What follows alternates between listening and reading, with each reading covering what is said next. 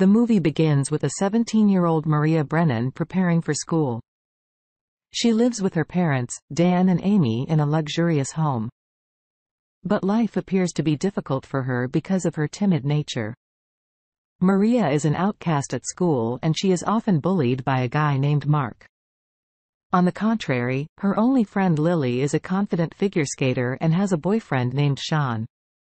At times, Maria finds herself jealous of her friend. Maria's parents also worry about her aloofness and they have tried to convince her to go to the upcoming school prom many times.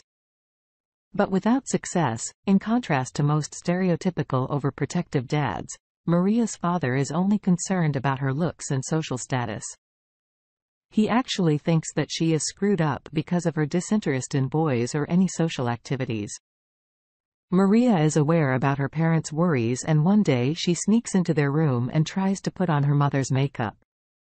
However, she abruptly stops when she notices something protruding from the edge of the mirror. To her surprise, it's a strange sonogram image of twins in the middle of the night. Maria is in the bathroom. When suddenly her reflection in the mirror, stares back at her, causing her to lose her balance and fall, she quickly gets up and clears the steam from the mirror gradually revealing her reflection to Maria's utter shock.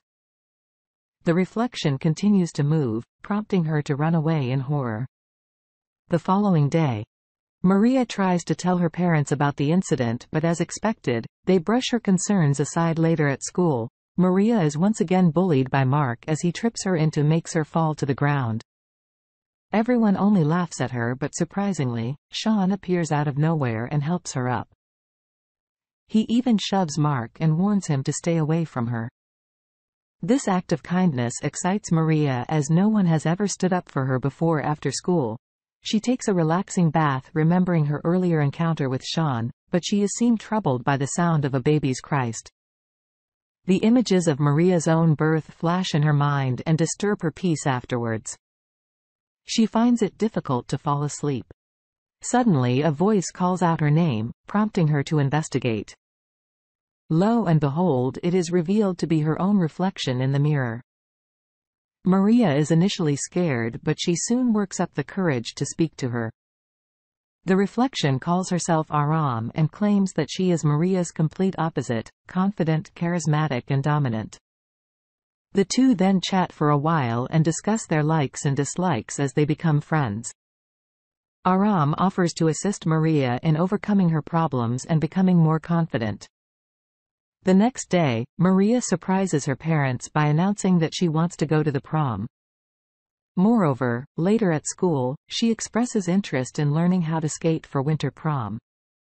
That evening, Maria goes to her father's clinic to spend some time with him as she watches him get close to a female client. She suspects that he is having an affair on the way back home. Dan asks her to visit him at the clinic tomorrow for an early birthday present. When Maria shares this with her reflection that night, she is told that her father is a bad person who only cares about himself. Maria obviously doesn't buy this. So she defends her dad saying that he is planning to gift her a car. However, the next day, Dan surprises Maria with a cosmetic procedure. Instead, he tells her that he wants to fix her unusually large ears and nose. This emotionally wrecks the teenager and she finally realizes that Dan hates her imperfections. In the next scene comforts Maria and tells her that they can teach their dad a lesson. She also points out that Amy is weak for putting up with Dan's toxicity as the conversation drags on Maria feels better and the two girls share a laugh. This attracts Amy's attention and she asks Maria who she was talking to when the latter isn't able to give her a satisfactory answer. Amy begins to wonder if she's taking narcotics later. Amy shares her concerns with Dan, but he completely ignores the matter. Instead, he gives her some sleeping pills, applies a beauty cream to her face and then puts her to bed before dozing off mentions that her nightmares have returned, but he assures her that they will go away like they always do the following day. Maria and Lily go to practice ice skating since our protagonist girl has never stepped foot on ice before she easily slips and falls to the ground.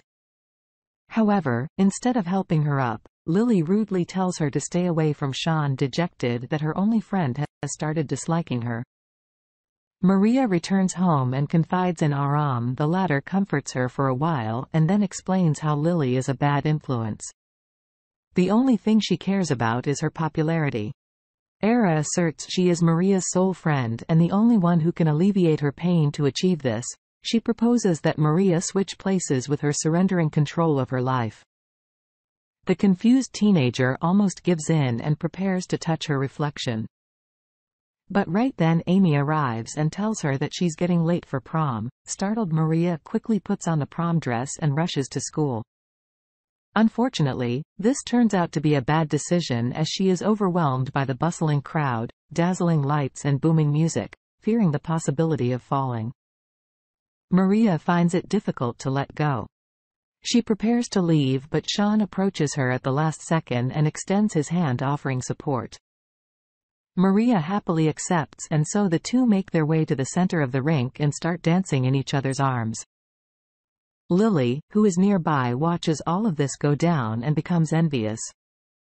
So she deliberately startles Maria making her lose balance and fall to the ground. Sean tries to assist her but Lily intervenes preventing him from doing so to make matters worse. The bully Mark arrives at the scene and starts pulling Maria across the rank. All the students simply watch her scream and plead help completely disregarding how she is feeling. When Mark finally stops, Maria runs away from the premises, embarrassed. This proves to be the final straw for her. So she ultimately decides to let Aram take control over her life. They touch hands and the lifts initiating the transformation process like some sort of sexy fusion dance. Once everything is done, Maria is the one behind the mirror while Aram is free to go anywhere she wants. Meanwhile, in the adjacent room, Amy is having a nightmare about the day she gave birth to Maria in the dream. She is screaming in excruciating pain. The next day, Aram goes to school and encounters Mark in the hallway. She confidently walks up to him, grabs his crotch and licks his ear before walking away, leaving him speechless. All he wanted was a little ASMR. Soon Lily approaches her and tries to fake concern, but Era sees right through her. Nevertheless, she continues to be friendly with Lily and asks her to teach her how to skate again at the rank. Later, Aram goes to her father's clinic there. She distracts the receptionist and steals the number of Dan's mistress. She then arranges for the mistress and Amy to come to the clinic. At the same time, Ara's plan works and Amy encounters the mistress in the elevator. She is heartbroken when she realizes that her husband is cheating on her. The scene then cuts to the ice rink where several students have come to practice. In the meantime, Aram meets Mark and lures him into the washroom. Once there, she suddenly strikes him in the knee with a hockey stick causing it to dislocate. Mark collapses on the ground and screams in agony. He pleads for help. But Aram leaves him by himself to suffer soon. Everyone heads home but Aram stays back with Lily to practice skating. She's surprised, changes her demeanor and starts skating like a pro. Much to her friend's surprise. Then a sense of determination takes over Aram and she begins chasing Lily with a deadly look in her eyes. Scared Lily tries to get away from her but ends up stumbling and hitting her head on the hard cement. She profusely bleeds but Aram only watches her slowly succumb to her injuries. After a while, Aram calls the authorities and informs them about Lily's accident while pretending to be scared and worried for her friend in the phone's reflection. The real Maria is seen crying later, Aram home and a detective arrives to interrogate her, but Amy convinces him to return at another time in the bathroom. Maria confronts her about the murder but Aram menacingly says that Lily deserved it. Hearing this, Maria becomes scared and expresses her desire to exchange positions again. But Aram refuses saying that she is not done yet.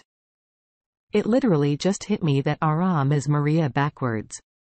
The scene then cuts to Lily's funeral. There. The detective offers his condolences to Sean and makes eye contact with Aram. This makes the latter uncomfortable and she proceeds to leave. However, Sean stops and embraces her later that night. Aram sneaks out of her house to visit Sean. He takes her to his room and offers her a joint as they discuss their lives. Aram positions herself in front of Sean and looks into his eyes. She then reveals that she has been fantasizing about him and begins touching him where the sun doesn't shine. Sean tries to stop her at first but soon he eventually gives in and the two make laugh the following day. Aram goes on a dinner date with her father. Dan is worried about her well-being after Lily's passing, but Era is entirely unaffected by the it's also revealed that after his affair had been exposed, Dan has been avoiding going home.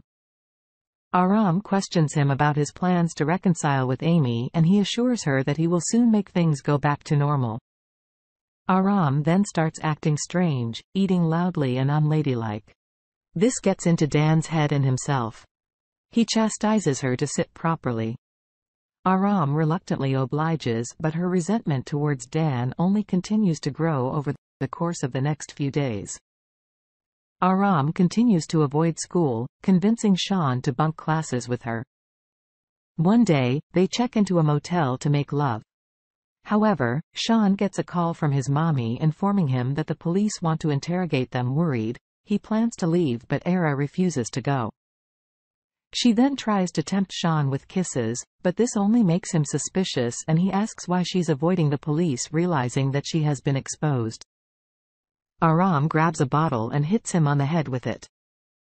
Unfortunately, he passes away within a few minutes after this. Aram goes to the bathroom and sees a hysterical Maria crying her eyes out the two then get close and comfort each other. Meanwhile, back at home, Amy experiences another night in her dream. We see that Maria had a deformed twin sister and Dan believed it was futile to let the baby live. So he made the decision to euthanize her. It turns out Aram is actually Maria's deceased twin sister. Ah, it all makes sense. Now, back in reality, Aram shows up at Dan's clinic and rings the doorbell. She stands weakly at the door, unable to support herself. Dan carries her to the operating table and fetches a glass of water for her. But to his surprise, she begins taking off her clothes. Oh, fuck enraged. He demands that she put her clothes back on, but Aram begins to remove the rest of her garments. She then questions her father if he finds her beautiful. Dan reluctantly says that she is beautiful, but then she inquires if he would still love her, even if she had deformities. Once again, Dan replies in the affirmative saying that he would love her unconditionally regardless of any imperfections. However, Aram doesn't believe him and swiftly slashes his throat with a sharp object after he bleeds to death. An angry Aram questions why he couldn't love her in the past afterwards. She calls for Maria but doesn't get a response. So she returns home and lies next to a dazed Amy. The final scene concludes with shimmering reflections and a depiction of Amy embracing both her daughters in her arms. This indicates that A and Maria have turned into a single person.